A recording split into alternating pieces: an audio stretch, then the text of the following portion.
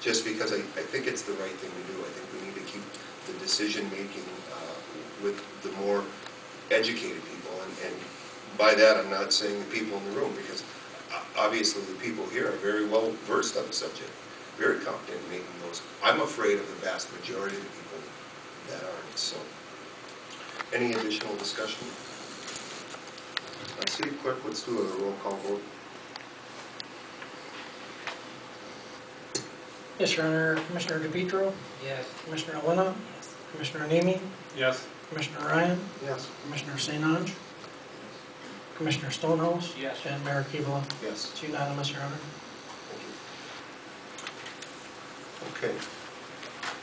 Next up is